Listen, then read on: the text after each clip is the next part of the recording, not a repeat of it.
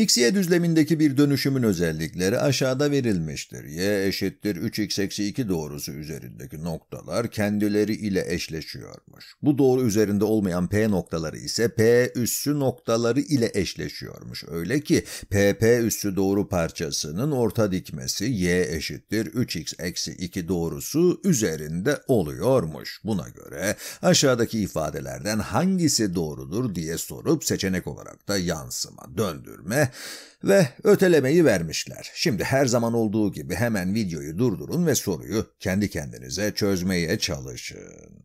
Peki, şimdi isterseniz önce bu soruyu canlandırmaya çalışalım. Hemencecik bir y bir de x ekseni evet çiziyorum y eşittir 3x eksi 2 doğrusu yaklaşık olarak buna benzeyen bir şey olacak öyle değil mi? Şimdi soruda bize verilene göre bu doğru üzerindeki noktalar dönüşümden sonra oldukları yerde kalıyorlarmış. Aslında sadece bununla bile bu dönüşümün bir yansıma olduğunu söyleyebiliriz. Neden mi? Çünkü yansımalar bir doğru üzerinden yapılır ve bu doğru üzerindeki noktalarda yansıma sonucu oldukları yerde kalırlar. Evet Evet, soruda sordukları dönüşümün bir yansıma olduğundan eminim ama ikinci özelliğinde bu kararımla uyumlu olup olmadığını kontrol etmek istiyorum açıkçası. Bir bakalım.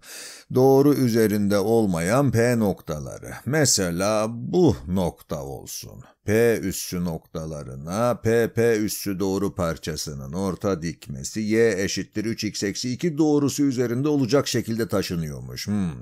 y eşittir 3x eksi 2 PP üssü doğru parçasının orta dikmesiymiş. Buna dik olacak bir doğru çizmem lazım. Ayrıca bu uzunlukla bu uzunlukta birbirine eşit ve bu noktada P üssü olacak. Gördüğünüz gibi bu özellikle bunun bir yansıma olduğunu destekliyor. P üssünün doğruya olan uzaklığıyla P'nin doğruya olan uzaklığı birbirine eşit o halde artık bunun bir yansıma olduğundan emin olabiliriz. Şimdi bir tane daha yapalım.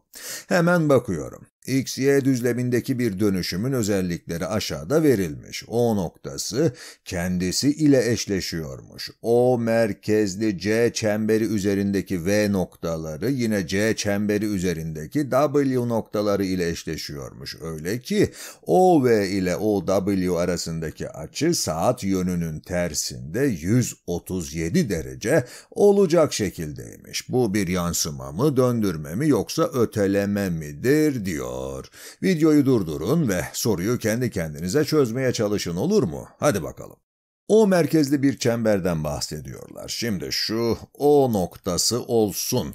Dönüşümden sonra bu olduğu yerde kalacak. O merkezli çember üzerindeki V noktaları. Evet bu O merkezli C çemberi olmaya çalışıyor. Pek çembere benzemedi ama ne olur idare edin. Önemli olan ne yapmaya çalıştığımı anlamanız öyle değil mi?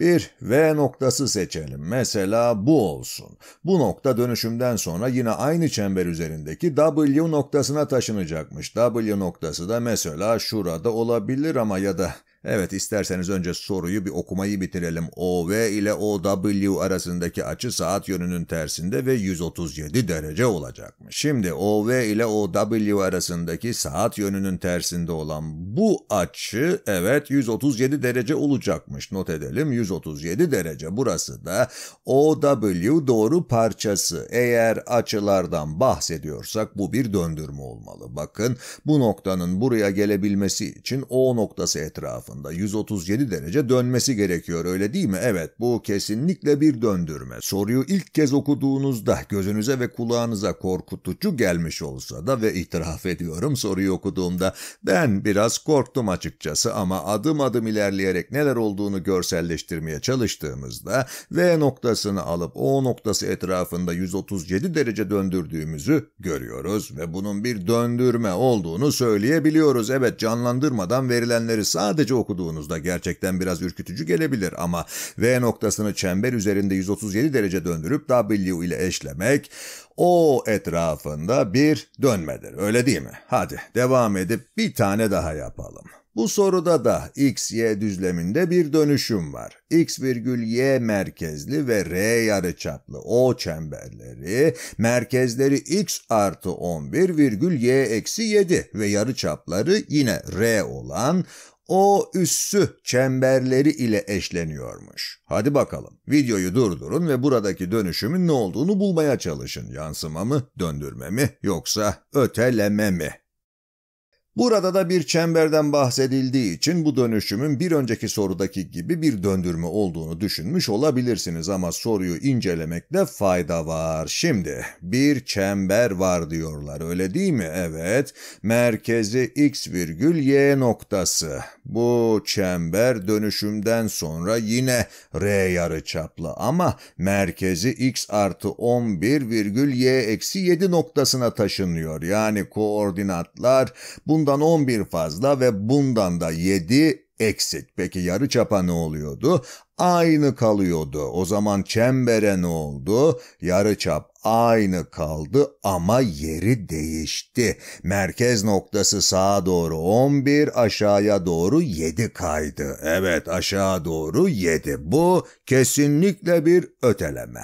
Seçeneği de işaretleyelim ve bu videoyu da burada bitirelim.